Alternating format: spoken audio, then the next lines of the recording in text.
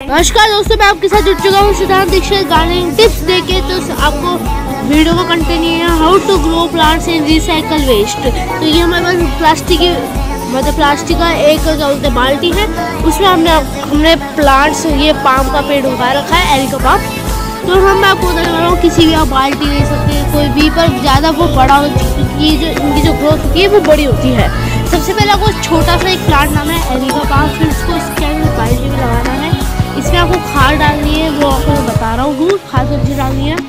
और फिर आपको प्लांट बिल्कुल ऐसा हो जाएगा। तो मैं आपको बताता हूँ कौन सी खाद तो भाई सबसे पहला है अमीनो एसिड और दूसरा है ये अजीब सा नाम है इसका, आप इसको कहीं से भी प्लांट के स्टोर से परचेज कर सकते हैं। तो भाई आप इनको डाल के बिल्कुल अच्छे कर सकते हैं अपने प्लांट्स को, जैसे हमने कर रखा है प्लास्टिक को प्लास्टिक की बाल्टी में हमने पेड़ उगा रखा है। तो आपको नए वीडियो में